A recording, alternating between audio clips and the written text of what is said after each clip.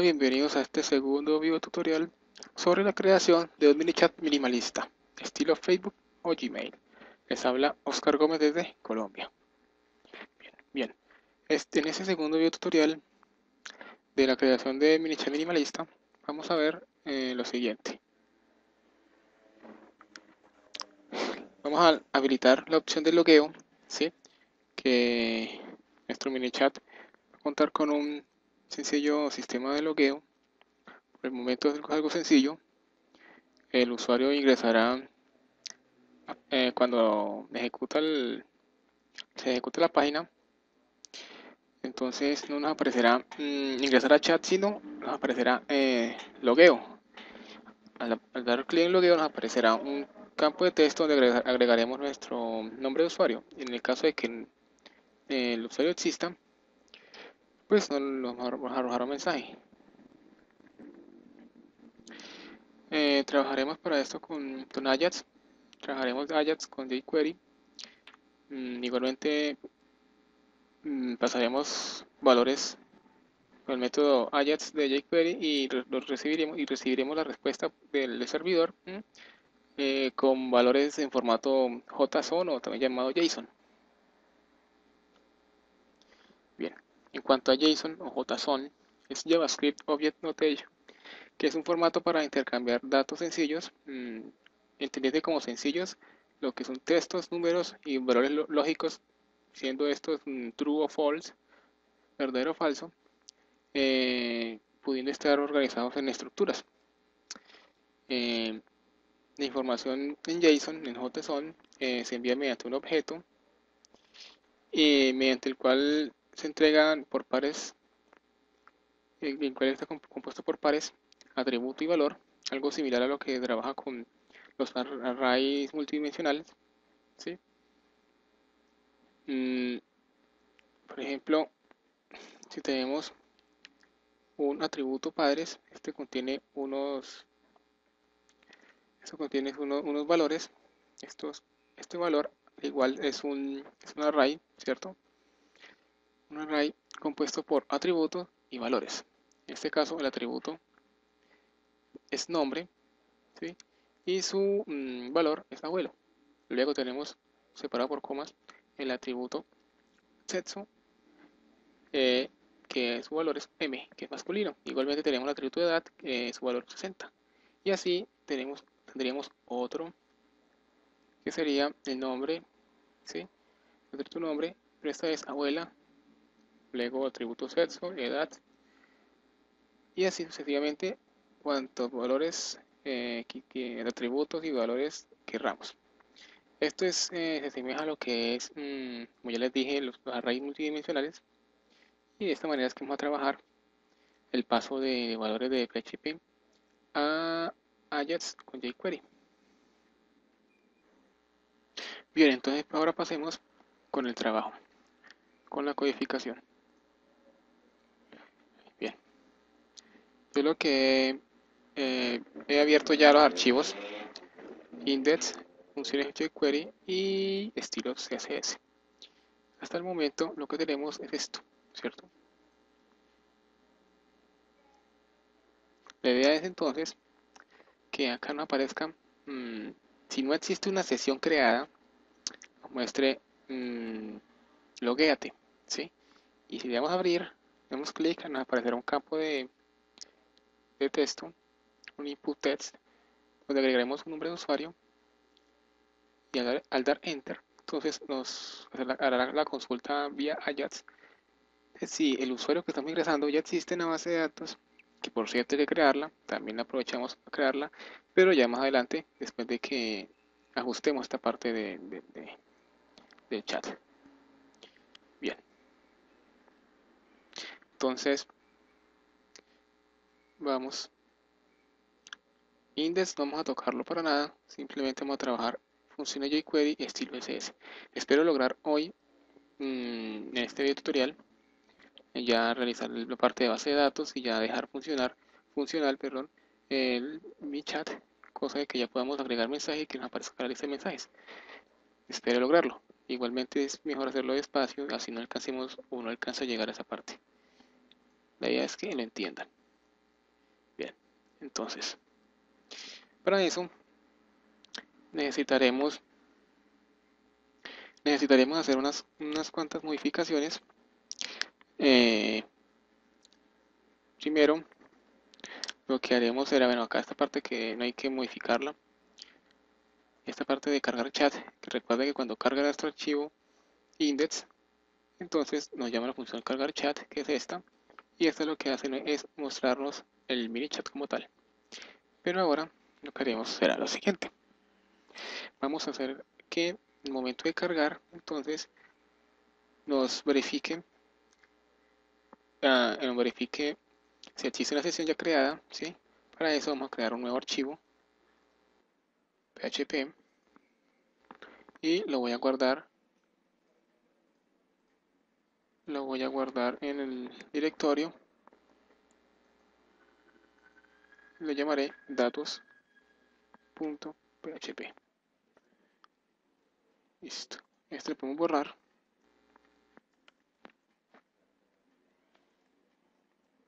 Bien. Entonces queremos. Ahora trabajamos la parte de Ajax con jQuery. Entonces empezamos. Lo primero que haremos será será tomamos esto primero para no confundirnos más adelante mejor. Entonces lo ponemos acá abajo. ¿Sí? Ahorita lo traemos nuevamente acá dentro de la función pero acá lo que haremos es colocar una variable URL, le llamé URL y aquí pondré el nombre del archivo PHP, en este caso datos.php. Luego lo que haré será empezar el trabajo con jQuery, como siempre signo peso o dólar. Y paréntesis, comillas. Y en este caso no, así no es, perdón. Es eh, punto Ajax punto Ajax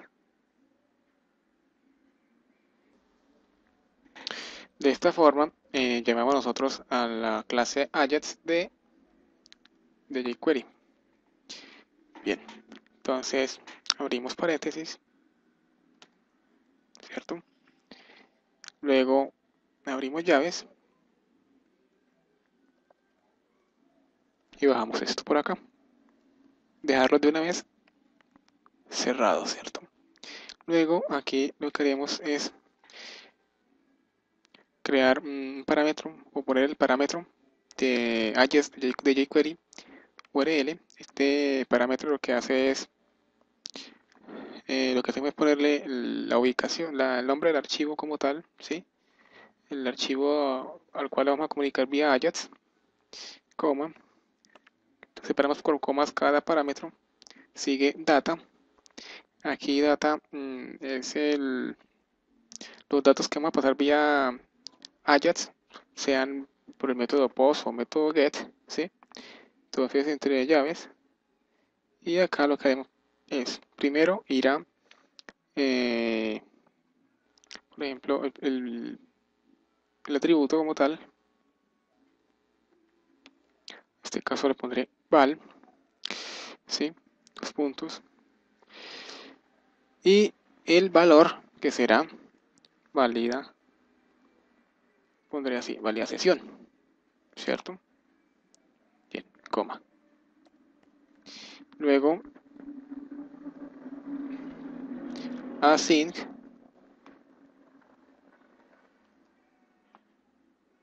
los puntos true. Esto quiere decir que vamos a trabajar de manera sincrónica con Ajax, que así es la idea, ¿no? Que Ajax trabaje de manera asincrónica, si colocamos false, ya no trabajará de manera sincrónica. Bien, eh, pronto aclarar algo acá en data, val, ¿sí? valía sesión. Esto es lo que vamos a pasar nosotros vía get al archivo. El archivo lo toma, toma este valor que pasa por, eh, por get, ¿sí? Y con esto haremos unas validaciones.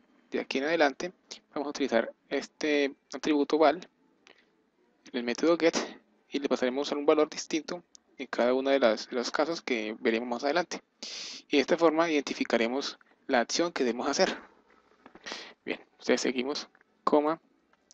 El siguiente atributo es el content type.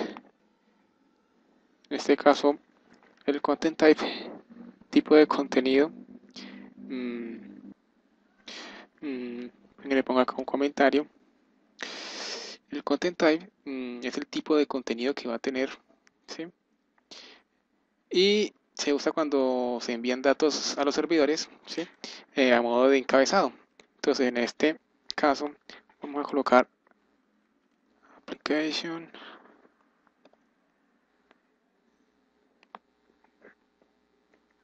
www-form url code url code coma luego lo que haremos es colocar data type tipo de datos que va a recibir la este lo que recibir Ajax ¿sí? entonces en este caso como ya les dije vamos a trabajar con JSON. Eso es lo que va a recibir de respuesta del servidor.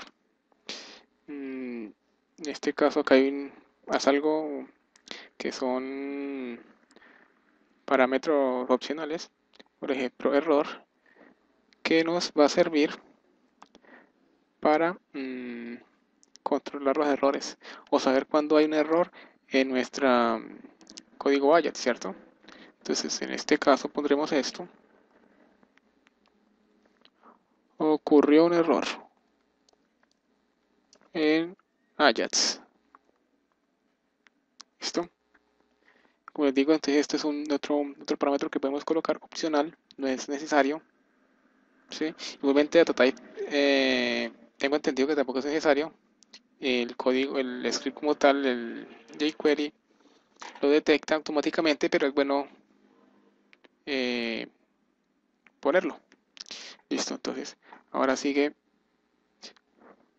Esta es una opción que global, puntos, true. Este global true mm, lo que nos permite es, permite que permite hacer que el objeto Ajax obedezca o desobedezca las reglas que, de, los de objetos Ajax que nosotros pongamos, ¿cierto? Realmente esto no le veo mucha diferencia si la tiene o no la tiene, pero pues es bueno, bueno ponerla, es global. ¿Sí? Bien. Ahora viene process process data. Igualmente igual a true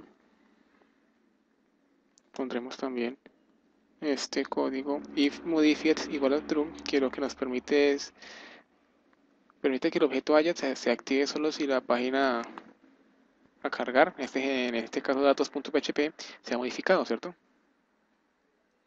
pero igualmente yo he hecho pruebas con estos sin estos parámetros perdón igualmente funciona pero pues es bueno como lo repito es bueno tenerlo tenerlos eh, eh, agregados ahí. Bien, otro parámetro es suces. Este es el que los indica, o en esta parte de suces es cuando ya eh, hubo una respuesta por parte del servidor. ¿sí? Función y colocamos acá parámetro datas. Aquí, al momento de, cargar el archivo datos.php, lo que nos imprime como tal el archivo quedará almacenado acá en datas. Obviamente acá podemos cambiarlo por el, la variable que nosotros queramos. Ya dentro de este parámetro suces, si dentro de la función, aquí es donde vamos a ubicar nuestro código, este código, el cual nos carga, el, los, crea, los crea el ¿cierto? Entonces lo que haremos es lo siguiente, aunque todavía nos falta mm, más contenido. Entonces, antes de trabajar acá en suces, entonces seguimos acá coma, colocar otro parámetro.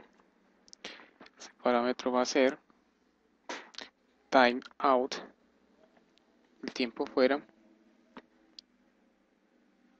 los puntos 3000, que son los 3000 eh, milisegundos, que son 3 segundos. Esto lo que nos permite es eh, definir un tiempo de espera para ejecutar otro objeto Ajax, ¿sí? como para que eh, tenga un poco de, respiro, por así decirlo, el, el, script como tal, ¿sí? Un, respiro de 3 segundos. Y luego viene type, que es mm, el tipo de, datos, la forma que vamos a pasar, o sea, el método que vamos a pasar, perdón, si es método post o por método get. En este caso vamos a utilizar el método mm, estaba pensando en trabajar método get, pero bueno, trabajemos muy bien mejor método post. ¿Sí?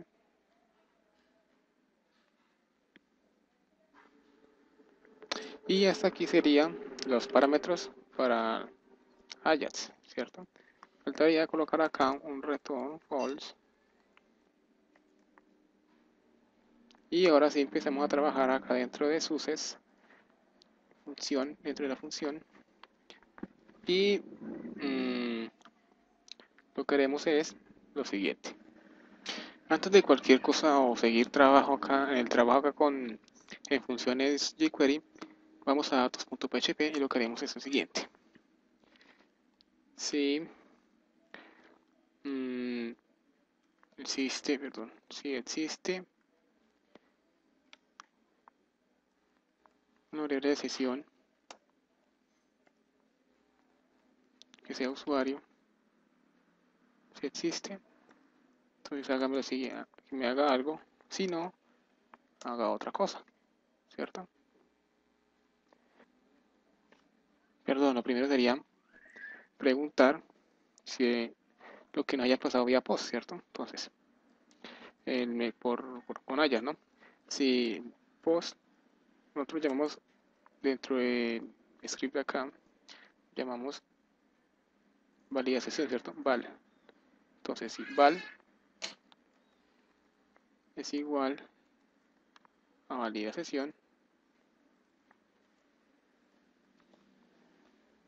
entre paréntesis entre perdón entre comillas ¿sí? abrimos llaves cerramos llaves entonces si el valor vía post si val es igual a valida sesión entonces hagamos lo siguiente.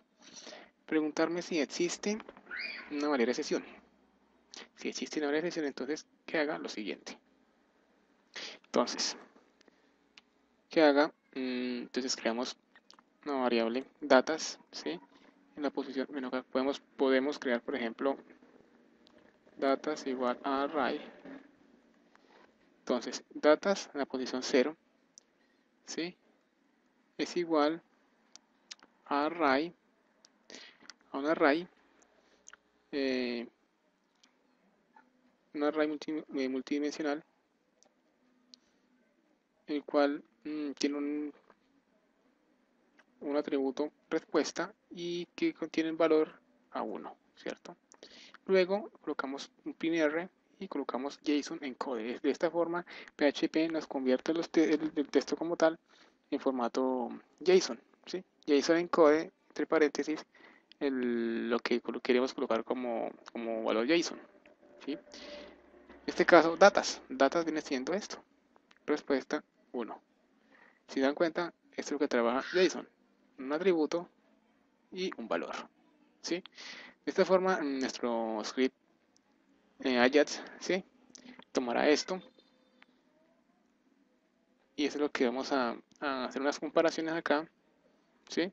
dentro de esta función cuando esta va a ser la respuesta que nos va a dar entonces el servidor y eso lo tomará el script y con eso haremos algo más adelante entonces es igual a 1 cierto si no entonces esta misma variable en la posición 0 pero cuya respuesta sea igual a 0 ¿Sí? igualmente tendrá un R nos imprime eh, codificado con JSON o JSON este valor. Recuerden atributo y valor. En este caso sería 0, que nos quiere decir que no hay una variable sesión creada. Ahora si seguimos con, con el archivo funciones, funciones jQuery, lo que haremos es acá, dentro de, ahora sí, dentro de chooses, dentro de función, entonces, preguntar si datas, la posición 0 igualmente, ¿sí?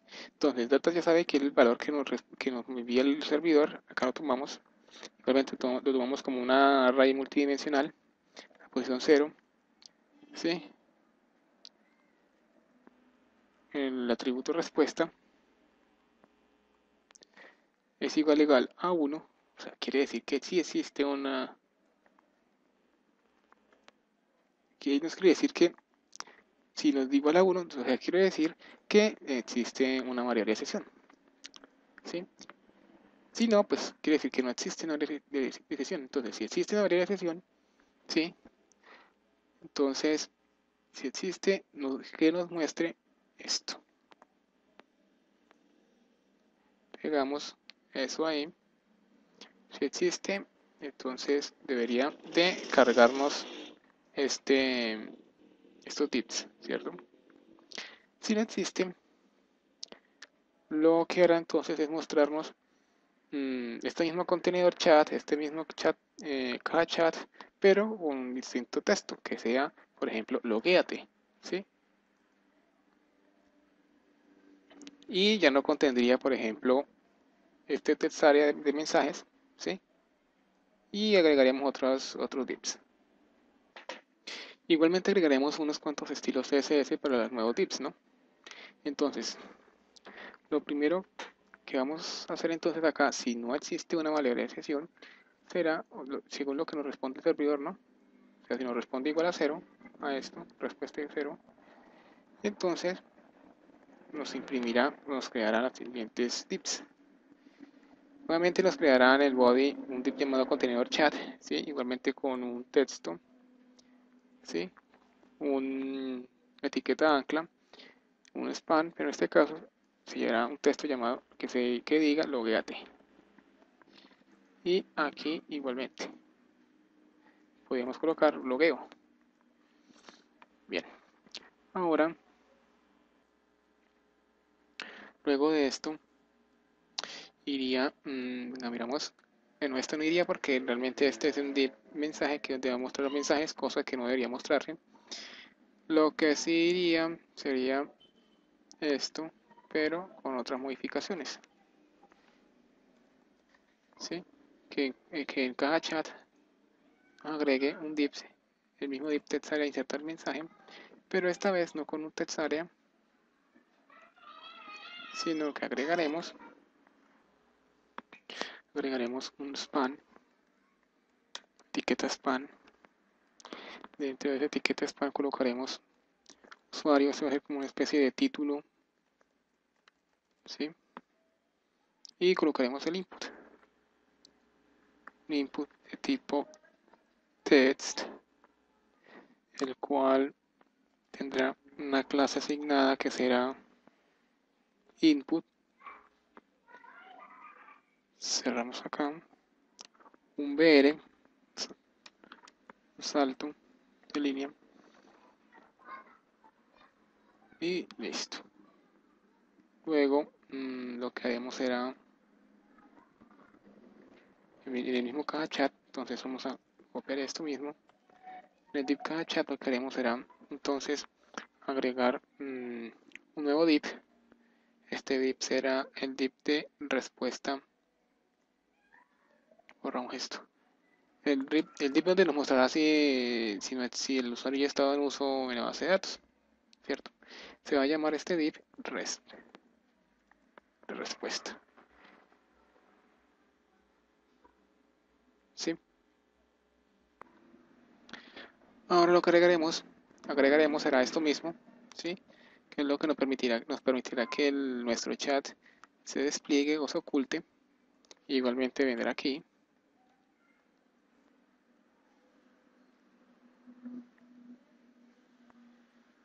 acomodamos un poco esto, ¿cierto? Un poco más de orden. Así, así. Bueno, antes de, de, de probar el navegador, vamos a agregar los estilos CSS para las nuevas divs que hemos puesto.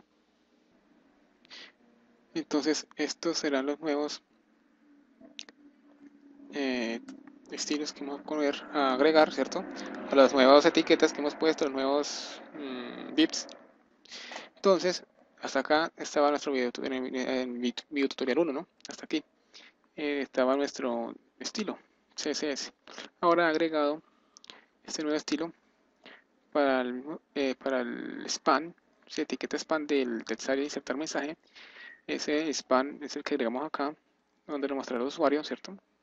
El texto usuario. Y le hemos puesto unos cuantos para, eh, unos valores, ¿sí? Que font size de 16 píxeles, margen, ¿sí? Para que nos quede más o menos, que nos quede más retirado, perdón, del, borde superior del div, el del div contenedor. Igualmente, como ya saben, superior y derecho, abajo e izquierdo. Luego un lo que a la izquierda, un flat left, un text align center, un width de 100%.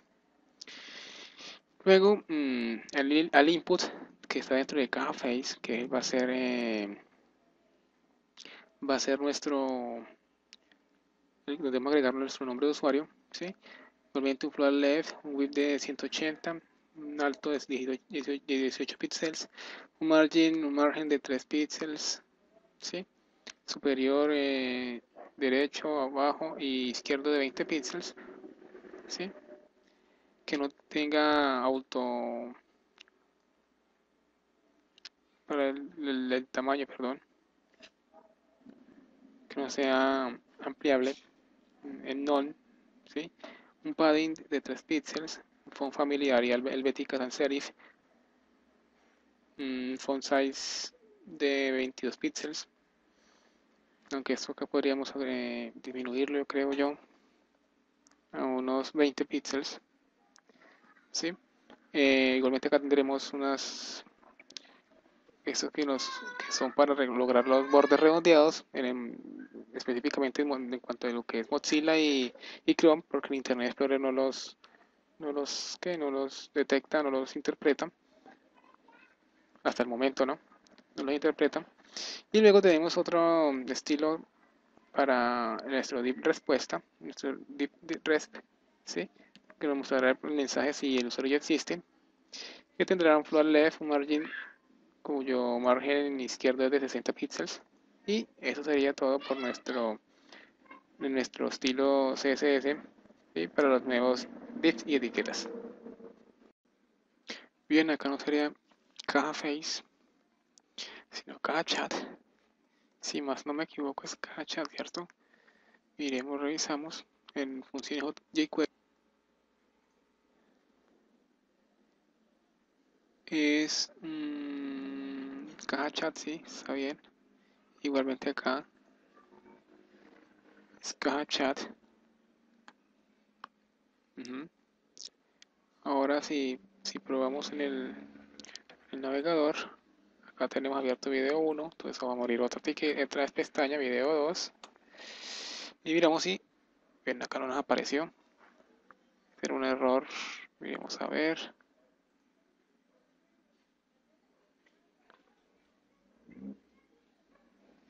Global truth modifier data sources sources sources ws revisemos f5 y aquí ven, ya aparece acá nuestro div, logueate. Entonces, recordamos que al momento de cargar, ¿cierto? Nuestra página lo que hace aquí es enviar la consulta Ajax al, archivo datos.php y verificar si existe eh, una variable de sesión. Si existe, entonces nos responde con un valor 1, si no, nos responde con un 0. En este caso, como nos respondió, nos respondió con un 0, entonces nos mostrará este div, logueate, logueo. ¿sí? Y si lo abrimos, nos damos cuenta que, miren, aparece acá el usuario. Este es el texto que agregamos adicional acá en span usuario y el, input este, ¿sí? Es este. Bien. Entonces, hasta acá ya tenemos nuestro mini chat con un poco más de presencia. Con más eh, opciones, por así decirlo. Antes de continuar, entonces mm, voy a revisar el archivo funciones porque nos hace falta una pequeña cosa, una condición, control. Si lo dejamos tal cual como lo tenemos, sucederá que mm, nos va, cada vez que, bueno, en este caso no, no, no nos aparecerá el error que les comentaba. Pero entonces, digamos así, lo que hará es siempre que haya una respuesta del servidor, la idea es que nosotros hagamos eh, con Ajax, ¿sí? una nueva consulta, o sea, nos vuelve a cargar otra vez el archivo, la función cargar chat, ¿cierto? Con un set out, ¿sí? Que vuelve otra vez, eso sería más adelante, pero pues hay que adelantarnos a eso. Hay que hacer, hacer eso antes de que nos punto, antes de, de, seguir, que más adelante nos aparece el error, porque cada vez eh, tendremos una función que nos volverá a ejecutar este archivo cargar chat cada 3 segundos, por ejemplo. ¿sí? Lo que hará es, como tiene cada 3 segundos, está cargando esa, esa, mm, esa, función, cargar chat, lo que hará es crearnos una y otra y otra y otra y otro chat por toda la página, ¿cierto? Entonces, para controlar eso, lo que haremos será agregar una condición si nuevamente acá valor de signo peso dólar ¿sí? para identificar que es jQuery si contenedor chat.length es igual igual a 0, quiere decir, este contenedor, contenedor chat.length quiere decir que si no existe un, un contenedor, o sea, un, si no existe en nuestro body, ¿sí? un div llamado con ID contenedor chat, si no existe, quiere decir que no que es la primera que se entra, primera vez que se entra, ¿sí? Y, no, y, si, y que ya y que no existe ningún div ¿no? de, ese, con ese ID. Entonces quiere decir que lo crea, ¿cierto? Solo si no existe un div con ese nombre. Eso iría acá adentro. ¿Sí? Este else, este if, colocar un poco de orden. Entonces acá cerramos nuestro if, ¿cierto? Si no, en este caso, ese, este si no lo, lo el si no lo, le agregaremos otra llamada una función, pero eso lo más adelante, no se preocupen. Esto es más como para controlar errores eh, futuros. No se preocupen por este por contenido del else, ¿sí? Como les digo más adelante lo, vamos eh, ocupando esta parte. Solo es cuestión de revisar revisar en esta parte de acá mensaje no, no, es necesario acá porque esta es la parte de logueo entonces no existe ningún eh, llamado mensaje entonces podemos eh, quitar esto por ejemplo ¿sí? sería quitar esto si lo probamos en el navegador actualizamos no sucede no sigue igual nuestro chat nuestro mini chat. Bien, entonces creo que este voy a dejar hasta este punto eh, este video. En el siguiente video tutorial eh, espero ya empezar en sí con la creación de, de la base de datos, ¿sí? Ya empezar a cargar nuestro, ah, perdón, acá a validar nuestro usuario. Eh, también pasaremos el valor vía Ajax tomará el archivo PHP, verificará que en la base de datos no exista un usuario con este nombre, ¿sí? si existe nos saca un pequeño mensaje de que el usuario ya existe, si no, pues entonces lo que hará es ya mostrarme el, div como tal que diga eh, entrar a chat, ¿cómo es? Ingresar a chat, abrir chat, perdón, vamos a aparecer a abrir chat, ya aquí como texto, ¿sí? al dar clic ya nos aparecerá acá en la lista el anterior div, el anterior este, abrir chat, nos aparecerá esta parte en blanco, donde nos, aquí es donde cargaremos nosotros los mensajes, ya nos aparecerá también el text area, pero siempre y cuando eh, hayamos puesto el nombre de usuario, a dar enter, manda la petición Ajax, crea la variable de sesión y entonces ya automáticamente eh, con Ajax lo que hará es cambiarme este div por, por este div. ¿sí? Pero ya en el siguiente tutorial. Eh, realmente la idea es avanzar, ¿cierto? Pero pues eh, hay puntos en que hay que eh, explicar detenidamente para dejar bien claros los temas, los temas. Así que no, no se preocupen que ya pronto avanzaremos mucho más. Bien, entonces ahora solo queda invitarlos, como siempre, invitarlos.